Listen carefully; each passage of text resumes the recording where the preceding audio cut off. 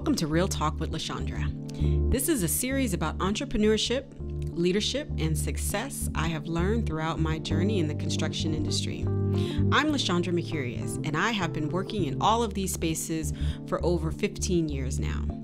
I will be sharing my thoughts and experiences about all the topics and also having conversations with amazing guests who navigate those spaces on a daily basis.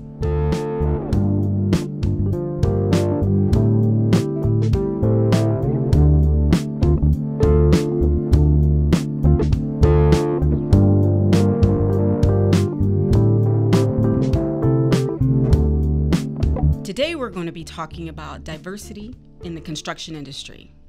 Now, being a black woman in construction and being a business owner has not been easy. This particular industry is very homogenous. And I can say that there's been plenty of times when I've entered into the room and there was no one that looked like me, except if I brought my husband with me. He's black too. That is not easy. And I think that there is a huge opportunity for diversity in this industry. It's a very homogenous industry. And I think that with the current racial undertones and overtones that are going on today, I think this is a discussion worth having. So I'm excited to introduce my first guest, who has also had an amazing story to share. Stepfone Montgomery is an accomplished leader in the transportation industry with over 33 years of experience. Working his way from frontline operations, which is a fancy word for came from the bottom and now he's here, to an executive level. Stepfone is considered a results oriented and innovative change agent and thought leader. Now, I have about a whole other page about this man's accolades that I'm not going to read today because it's just too much. He, he know he got it he know he knows who he is and what he's done. So if you guys are interested in hearing more about everything that he's done, go to his LinkedIn page because it's all there. So let's get started. So I shared a little bit about my journey and how I got started in the industry in my first episode. It wasn't easy, it was a challenge every day, but here I am 10 years later being the president of a successful multi million dollar firm and respected in the industry for the quality and service that we provide. I also started from the bottom, now I'm here. So let's talk about your path to success. Well, LaShondra, thank you for having me on. And um, I really appreciate that introduction. And um, if people have an opportunity, I would encourage them to go to my LinkedIn profile. But I like what you said, like I started from the bottom, now I'm here. Uh, I forget what song that's from, but I know that's from some song. That's Drake. Come Go, on now. Okay. I started I, from the bottom, now that's we're true. here. That's true. That's true. That's true. You know, I'm a Jay Z fan. So if people hear me, here we go. If people hear me, um, I'm from New York, so if you hear an accent, it's my New York accent. So I, I couldn't tell that you were from New York. You couldn't. Well, a lot of people can. I couldn't so. tell you was from New York. Yeah. Well, you know, you know how we do in New York. So, but I've been out here for the past three years, loving California and just love my life out here. So you asked me what was my path to success. Um, I started as a cleaner and worked my way up to vice president before I retired. After that, I ran a couple companies. Um, but it wasn't easy. Um, I had a lot of obstacles along my way. Um, people didn't necessarily uh, want to help me. Um, but there were people who saw things in me that I didn't see in myself. And sometimes you have to trust yourself and trust other people. One of the stories I like to tell is that um, I was going to be a locomotive engineer. That's the guy who drives the trains. And I was in class. Okay. And uh, when I was in class, um, the instructors were talking to me about being an instructor. I'm like, well, how can I be an instructor? I didn't even get out of class yet, right? But I guess they saw something in me because I was working with them and helping them. And then I got out of class. And like, four months later, they called me to be an instructor. I'm like, how can I be an instructor? I just got here. Like, you know. Um, they go, no, we seen some things in you. I said, okay, somebody's going to call you. So this person that called me was well respected in the industry. Uh, you know, if this guy gave you a call, you that that that gave you a check, you know, like that verified. That was it. I made it. Yeah, yeah. So he called me. I, I remember saying, Ray, I, I don't think I'm ready. He goes, Steph, you're ready. You're ready. So one thing led to another. Put in for the interview. Little did people know uh, it was a teaching assignment, so I was going to be a training instructor. Little did people know, uh, because of my religious background, I was teaching in my religion mm. every week, like three times, twice a week. So I was already an instructor. And so even though the other people had years of experience, my teaching instructor got me the job. So, really quick, I want to ask you were you surprised that that teaching knowledge or that sort of that or about you came out and you know others took notice um, because it sounds like you know that wasn't necessarily the direction that you were going no it wasn't that really wasn't the direction i was going i just i didn't even see that in myself right i didn't know that i i just it was part of me just being me right and sometimes in life, people see things in you that you don't even see in yourself. Mm. And so they saw that in me. And I remember an old boss of mine, because prior to that I was a rail traffic controller, he said to me at the interview, after the interview, was, he said, You did excellent. I didn't know you had all this in you. He said, Because if I had known this in you, I would have kept you. Mm. So, you know, people see things, but these people saw something in me. And when I got the job, I'll tell you honestly, I loved it. Mm. Like I love being an instructor because the thing about being an instructor is, uh, at the end of the day, everybody's gonna like you because right. you help them build their career. Mm, right? Interesting. Right. So that I love that. But you know, as anything, to move up the ladder becomes more money, more responsibility. So, quick question for you: um, When you entered into that world and you, you know, wanted to become an engineer, how many people look like you on that career path? So um, there was quite a few at that time because the company had been sued a couple years prior to that. Mm. Uh, it was called the Consent Decree. What would happen is at this agency, and I'll mention the agency because um, I don't work there anymore, um, even though they sent me a nice pension check. Um, well, all right now, cover your bases. cover your bases. Um, the Long Island Railroad that was sued. I think it was back in the '80s um, what had what what happened was they were discriminating. So if two candidates came in, one was white, one was black, and they had the same qualifications, they let the white person go to a high level job, a rail traffic controller, a conductor, maybe a locomotive engineer. The black person, they were sent to be a coach cleaner. Mm. So that's what happened. And so what happened was they had to now really think about uh, promoting uh, people of color. And so this had been my first job was rail traffic controller through the consent decree. Um, that was an interesting job because it was only 100 and I think it was 110 people. Five people were African American. Wow. Only five because in that particular job, um, that was like a cushy job. You're a rail traffic controller. Nobody ever thinks. Nobody even sees them. Mm-hmm. Um, they make a lot of money. I literally went from making seventeen thousand dollars a year to forty five thousand dollars overnight. Big balling. Yes, yes. Back in the eighties. You're talking in the eighties, right? You're talking in the eighties. That's a that was considered a lot of money. That'd be like you know making thirty thousand dollars and going to ninety, you know, today. So back then that was a that was a big thing. So that occurred, um, and then I just kept and people saw things in me. Mm-hmm. Um, and even some of the in, when I became an instructor, I never forget a guy that I was um, I was working with. He said to me, "You know, one day you're going to be my boss," and I go, "No way." He goes, "Yeah, one day you are." And this was just an average person, and I remember when I became his boss, the second day he came in my office, he said, "I told you." So even he saw something in me. Mm-hmm. So for many years, I guess I didn't see it in me because I, I think it a lot has to do with who you're raised by, right? Mm. For me, my parents, when I came home with an A, they would say, well, "How come you get an A plus?"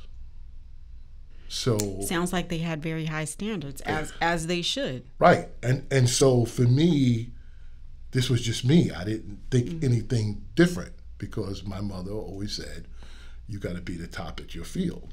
So I have a question. So as you're going through this particular journey, and it seems like right away people are taking notice that you're special, that you have more to offer. Did you see the same type of opportunities happening for others that look like you? Yes and no. Explain that. Some people didn't have the same work ethic. Um, some people didn't know how to, they always fought. Um, they always thought everything was a racial issue. Mm. And many times it was, but sometimes it wasn't. It had to do about your work, your work ethic. Like you, are not doing the job, so why are we going to make it about race? Mm. Um, it still wasn't proportionate to a Caucasian, mm-hmm. right? So let's just say that in, let's just use for example, a uh, class of conductors or engineers. Um, if we hired 40, maybe five of them would be of African American descent. Maybe three of them would be women. So it wasn't, but it's also um, where I lived. I lived on Long Island. If you think about Long Island, Long Island is one of the most segregated places in the country. It used to be. Uh, if you go back to history of just it's it's it's it's the history of the Long Island Levittown is that um, segregation law that came out um, that talked about building houses just for Caucasians. So when you talk about our history, they had a great start, right? And so it's very segregated there uh, on Long Island. Now New York City is different. Right? New York City is completely different but Long Island is very segregated, and and the company I worked for worked on Long Island. So it was interesting, you know. As I got older, I started to understand. But remember, when I got there, I was 20. What did I know? I ain't know nothing. You didn't know a damn thing. And here's the funny thing: I thought I knew everything. Of course, that's how it works. Yeah, but here's the, here's the funny thing today. I think I know less today than I did at 20. Even though I'm more educated, and more worldly.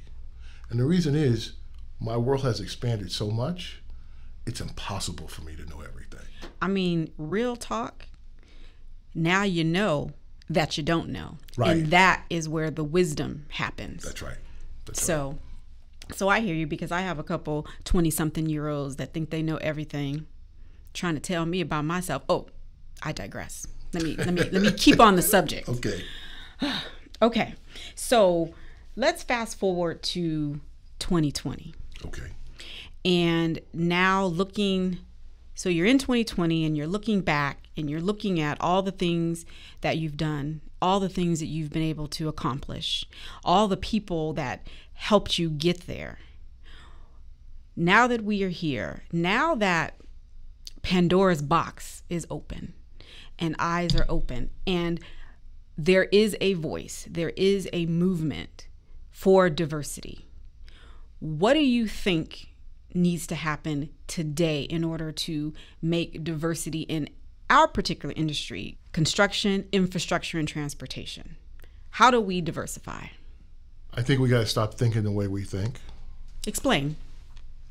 Everybody has a bias, right? Everyone. All of us sitting in this room have a bias. We have a bias because we know what's been successful. So sometimes when hiring managers look at things, they look at what has been successful in the past, and that's their model. Instead of looking at something different or getting to know people.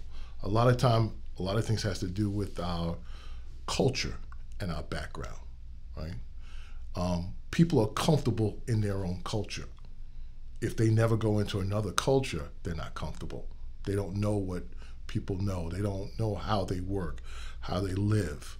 Um, knowing what I know now and all the people I've had working for me, you know, at one time I had 5,000 people working for me. So, you know, Whoa. so, you know, that's a lot of culture, right? Yes. Right? That's a lot of culture. But everybody does things differently. And so in our industry, just like you, I remember walking into the, uh, I think it's called the World Congress or the Building Congress in New York. Mm-hmm. There was 1,200 people in there. Deputy governors, city officials, All the big wigs. all the bigwigs.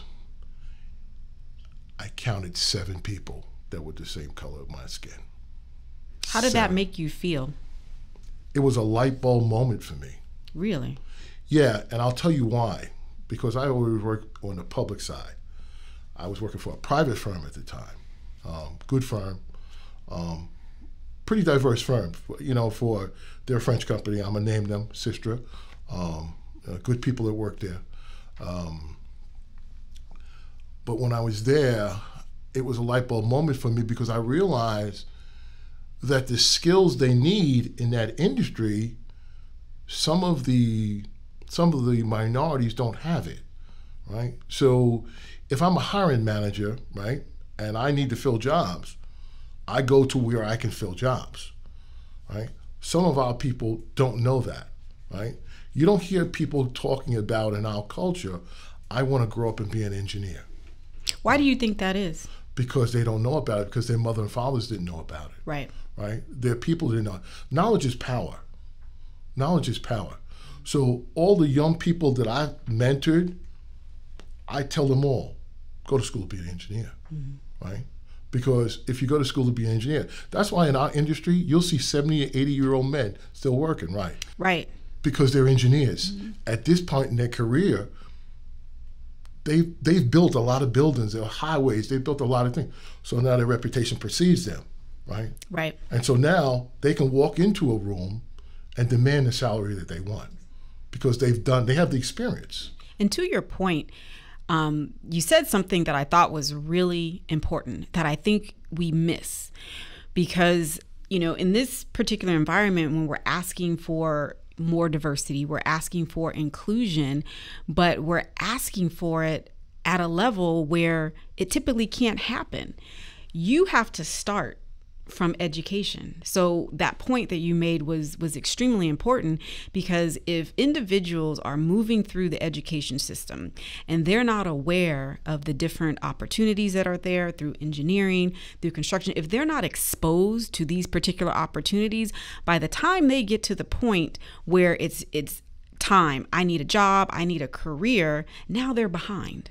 So in your position as someone that hires a lot of people, you can no longer consider them as much as you want to diversify. Right. So you are not in a position of power to diversify at that level because you have to get a job done. Right. You have to get these trains running. Right. You have to get these construction projects going and you have to think about the safety of the individuals that are riding your transit system. Right. And so diversity becomes lower and lower and lower on your list of Right. priorities Right. based on the situation that's in front of you. What do you say to that? I, I agree. I agree hundred percent because you got a job to do, and if the workforce is not there, how do you fill it, right? So it goes back to education, and I always think about this for a moment. My father said to me, "Go to the Long Island Railroad and get a job." He didn't say go get a career. He said go get a job. Now, I fortunately, because of my work ethic and getting an education later, I got a career. Hmm. But that's not what he says. Today's parents tell their children, get a career.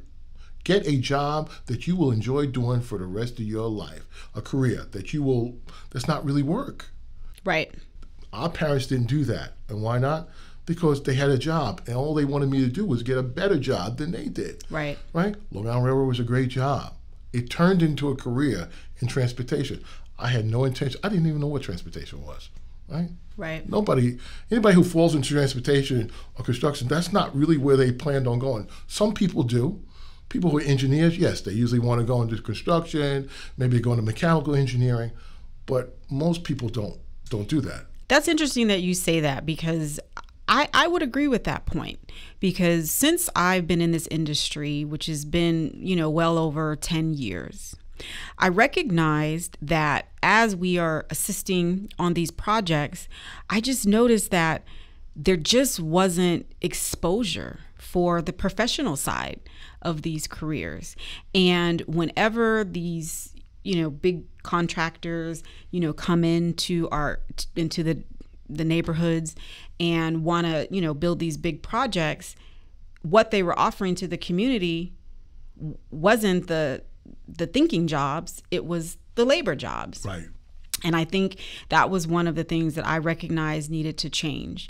Um, you know, which is why back in 2015 we started Career Excellence Academy, Right. which actually goes into underserved communities and exposes the individuals to professional jobs in construction, transportation, um, infrastructure that they never knew about. When you go along the freeway and you see these, these big, huge projects, you don't know that there's a beautiful office building where two to 300 people are sitting there making things happen behind the scenes. And so I think that having exposure is key. Yeah. And I know that for me personally, if I was to start my career with the wisdom that I have and the knowledge that I have now, I'd have went to engineering school. Mm. Right? That's what I would have done. Because there's nothing in the world that gets made or produced without an engineer. That's just the way the world works, right? Right. These microphones, this table, these chairs we sat on were designed by an engineer. So that's a job for life. If you really think about it, it's a job for life. Well, I'm going to take that point a little further and I'm going to ask you a question. What's that? Um, you talked about this industry and engineering being a job for life. What do you think you want your legacy to be? Because that's really the life. You know, what are you going to leave behind so others can use what you've done, your success, to be that building block to then do more? Well, one of the things that I, I want to do, um, I, I tease about this all the time, right? So, you know, number one, I'm a, I'm from New York. I'm a Giants and Yankee fan, right? And so- Boo! yeah, okay, you can, you can, you know, you Californians can say whatever you want, but That's right. okay, but Lakers all the way. okay, but just remember, Dodgers. but just remember how many World Series we have, the Yankees. But I digress. Okay? That's because you cheat. Oh, oh no, no, you, you're thinking of Boston and Houston. You're not thinking of the Yankees. We're a one number one class organization. But that we're not here to talk sports, okay? So, but I'm going to let that slide, but oh, go ahead. okay, okay, great. I tease and always say that when I retire, when I pass away from this earth, that I want my family to be able to rent out Yankee Stadium for my funeral. Why is that? Because I want to have touched so many people and helped so many people. And when I say help, not more so in in some monetary way, but provided some type of wisdom to them or some kind of education that they didn't know about that goes, wow, I really never thought about that like that. Um, so that's my legacy. And how do I do that? Well, I do that by educating people. I do that by mentoring with people um, and mentoring them, having conversations. I don't mind having a conversation about my career, but it's not about what I have accomplished, it's what I'm doing now, right? And so, you know, I was just, as you know, I was the president of Compto. Uh, that's over with. I'm working on some things now uh, that will I think revolutionized the construction and um, and transportation industry on the business on the business development side. Was it any any part of it that you kind of want to share? Because I think it's important for our listeners to know what you're doing next. I mean, you've had a full career in transportation. You've retired, you know, on top of your game, you know, as a you know, a CEO and vice president of a, a large organization in transportation. So I think w- it would be interesting to know what is next for you. Well, um, I have in the last few years had my own company and I consult. So you know, I go to companies and work for them, operational analysis, do some business development for them. But what I'm working on right now is um, automating business development. Business development right now, the way we do it is inefficient, and uh, we live in a world where information needs to be at your fingertips, right? And in many places, it's inefficient. It doesn't work. Um, so I'm putting a program together that will automate that and make it so that it will be at your fingertips. You'll know what the RFPs that are coming out. You'll know what companies are looking at them. We'll team you up with it. So what it does, it it provides a service to big primes and contractors. Uh, then it provides a service to small business. So this way, because there's plenty of money out there. But one of the things that happens is that big prime contractors always say, "Well, I can't find anybody," right? Right. Right? They always say that. I can't find anybody. But there's plenty of people out there. But small businesses don't have the bandwidth or sometimes the money to invest in a business development person to go get them more work. Right. So what we're doing and we're automating it and making it affordable for everybody because there's enough because what it does it benefits the prime and it benefits the small business. Right.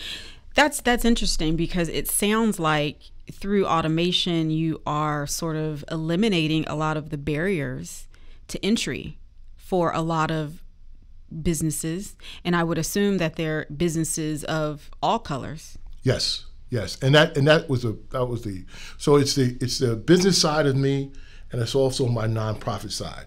So I've married it because I worked I uh, besides the nonprofit I just was at, I ran a nonprofit for a year. And so one of the things that on the nonprofit side is you see these businesses struggling, right? Right. And they're coming to you for help, but sometimes you can't provide them the help because you're only one person. Right.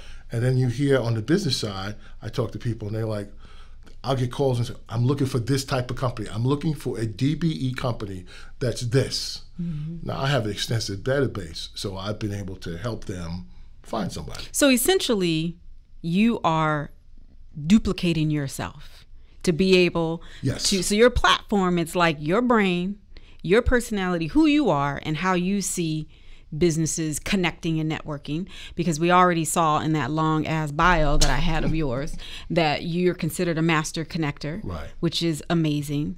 So now you're taking that and you're duplicating yourself through a platform so that you can help multiple people make the connections and have the networking ability that they wouldn't otherwise have because there's only one of you. Now, I don't know how I feel about having multiple yous around. You're a whole lot, Stepfone. You're a whole lot. Well, here's here's the thing.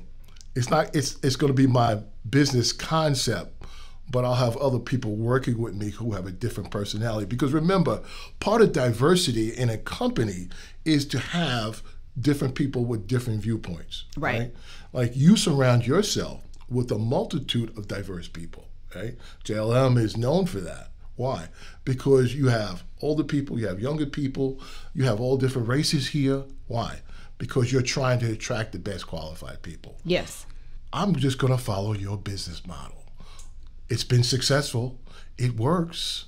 And and but even if you look at not your business model, but other companies, the ones that have diverse organizations do very well. I would agree. The ones that don't have diverse organizations, they do okay. I'm not going to say, but they have a little problem. Right. And they have, and I call they have some guilt with that too. Hey, listen, imitation is the best form of flattery. Right. So I'm I'm I'm not mad at you, and I want to see you succeed.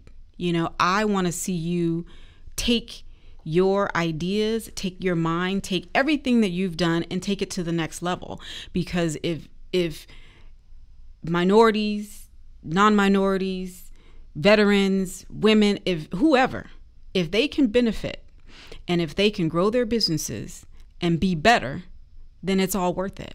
Yeah. Because I think that we're entering into an age where it's not going to matter anymore. I mean, automation is taking off. And who cares what color the platform is? It could be blue, yellow, orange, green, purple. It doesn't matter. What matters is are you delivering quality service?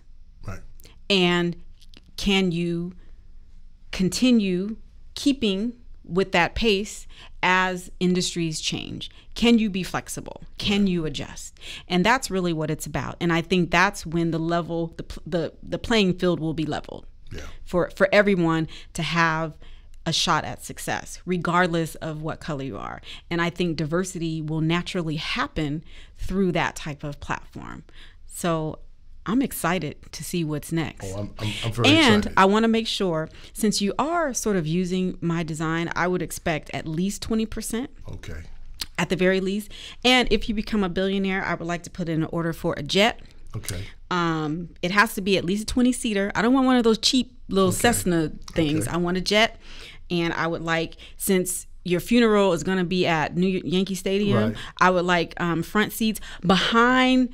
You know the um, pitcher because you know when they hit them balls, there's a fence. Right. I want to be behind the fence. Okay. I don't want to be anywhere where the ball can can get Okay, me. okay. You know right. because it's already going to be tough walking in there, and I will be showing up with um, Dodger gear and Laker gear to your funeral. So I just want you to know that already. Okay. Don't no disrespect, Okay. You know, I'm gonna put some spec on your name. Okay. I, I, I'm glad you do that. I'm, I'm, Okay. I'm glad you'll do that. All right, and I may have a list of other things a little bit later. Okay, all right. But I want to say one thing. I know we're getting ready to probably sign off, and um, if I can give your listeners just one word of advice. Yes, um, please. Um, grab yourself a mentor Mm. if you can. Grab yourself a mentor. And sometimes, you know, a mentor doesn't look like you. A mentor could be a woman, a man, any color, because you want to learn skills that you don't have. Right. One of the things I see people do is they get comfortable in the skills they have and they really over exaggerate those, and the ones they don't have, they don't fulfill those those skills or they don't work on them. Um, I had a I had several mentors. Unfortunately, one of my mentors passed away with COVID just recently. Oh my goodness, I'm sorry to hear that. Yeah, and one of the other mentors of mine who passed away about two years ago, he probably was. I, I call him the uh, my father, my second father at the job, because he talked to me in a way that nobody else could. Right? Cause you're hard headed. Yeah, I, I was. Uh, I'm not gonna lie. I'm just teasing you. No, no, but you, but you, LaShondra, you're absolutely right. Because at 34 years old, I had attained things that most 45 and 48 year old men had not attained. So when you're 34, what do you act like? You act like you the, you know what? You the sh. IT, right? right? And I was arrogant. I'm not gonna lie to you. I was, but then I realized that I was seeing other people's career move up, and then I, I wasn't doing so. So I had plateaued, and so that's when this subject of emotional intelligence came in for me. And I go, wait a minute now, I got to get better here, all right? And, uh, and I looked into that. So I always say, get a mentor. Make sure your emotional intelligence is in place because those are hard lessons for me. And my, my career did well. So don't think that I didn't have no bumps along the way. Please, please, if you talk to some of the people I used to work for, they'd be like, oh boy, we weren't sure about him. right? Right. Um, but it happens because it comes with growth and wisdom. Right. That's what it comes with. 34 year old, you couldn't tell me anything I thought I You was. can't tell me nothing. You couldn't tell me nothing. I had a lot of people working for me, driving a nice car, living in a big house, two beautiful children, a wife. You couldn't tell me anything. But I was just as arrogant. Um, and now I see what people were saying, right? And so as I got older and more wiser, I actually had to go back and apologize to some people, right? Because some of the things that I did. Um, but, you know, once again, it goes back to my father was a truck driver. My father never got to a management position. And many of us, when we get to those positions, there's no book written, oh, I should manage like this, Right. Yes. right? Yes. And and I've made plenty mistakes and blunders along the way. And I'll actually be talking about a lot of that in my next podcast. Okay. Um, we're going to be talking about um, how to hire and retain talent. Um, but I, I want to say this in parting. Um, we've known each other for about how long, Stepfone? About five years. About five years. Yeah, five years. It was in Dallas. We, Yeah. you and your husband. Yeah, and I believe we were at a COMTO event. Yeah, we were. We were at Yeah. the Compton. That was the that was the year that they had the shooting. That's right. And we had just arrived like just a few days after the shooting happened. yeah, yeah. Um, but I, I want to sort of share, you know, with my listeners, you know, what kind of person you are and how far you've come from that 34 year old arrogant mama. when we were in Dallas, we we were actually new to COMTO, which is surprising because we had already been in the game six years before we even knew COMTO existed. We didn't even know there was an LA chapter, you know, so we were a little, you know, in a bit in a bubble when it came to you know these types of organizations. So we had an opportunity to, to go. We were invited to go. And i remember my husband and i were having breakfast you know we were just kind of sitting together. We didn't really know anybody. Um, and we're i'm actually pretty shy. You wouldn't think that but i'm actually an introvert. Um, my husband is actually an extrovert which you wouldn't know that either because he has a very stoic demeanor. So between the two of us we probably look like please don't come talk to me. And that's exactly what was happening. Right. you know no one was really approaching us and we weren't really integrating ourselves but you were the first person to come over and say hey you know how you guys doing? Um, and i noticed that you checked on us a few times when we were there. And there was just something about your energy, something about your spirit that both my husband and I connected to. And we mm-hmm. were so appreciative that you sort of wrapped our, your arms around us and sort of brought us in. And then you began to introduce us to people. You know, you sat down, you listened, you asked about us, you wanted to know who we are, not just what we did and how we could help you or what you can get out of it. You could have cared less. But we felt like, wow, this guy, I don't know who he is, but he keeps coming up to us and asking us questions and introducing us to people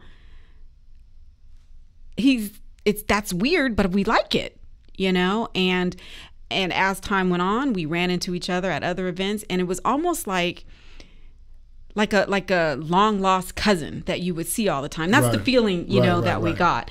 And i remember um you know, talking, you know, to you about LA and, and Long Beach and, you know, the different places and, you know, why you should come here. Because in, in actuality, I had an ulterior motive.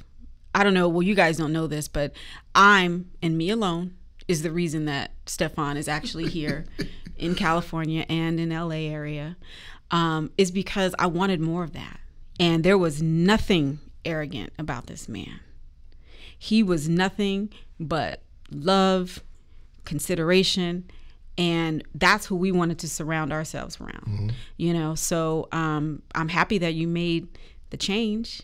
Oh, me You too. know, it's it's I'm sure plenty of people who hear this podcast probably going, I'm happy you made the change too. yeah, yeah, Yeah, yeah. And um, you know, and so you're like family. Yeah, no, you I, know, I and I- appreciate it. Yeah, and I feel like, you know, we will have a long-lasting relationship, and I do believe, you know, because you you're gonna go first, not me.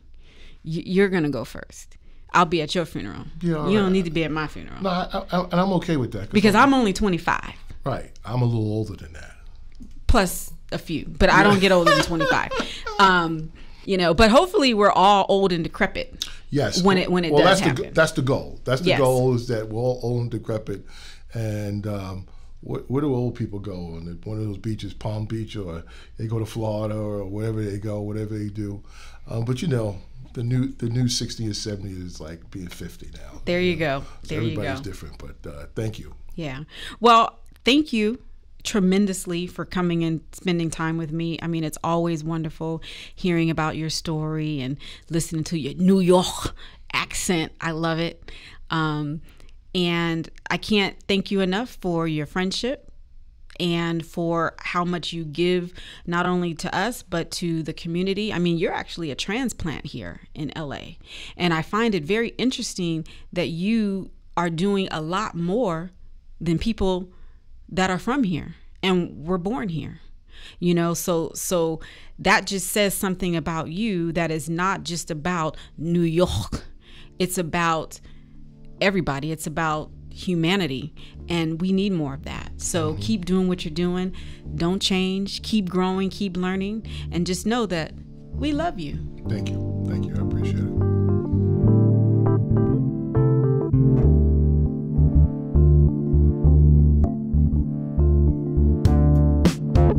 This is a series about entrepreneurship, leadership, and success that I have found in the construction industry. If you want to hear more and you want to be a part of our community, follow us on LinkedIn and subscribe to our newsletter on our LinkedIn profile. If you want to share your thoughts after listening to this episode, feel free to drop a line in our LinkedIn podcast post. Thanks for listening, and we will connect next month.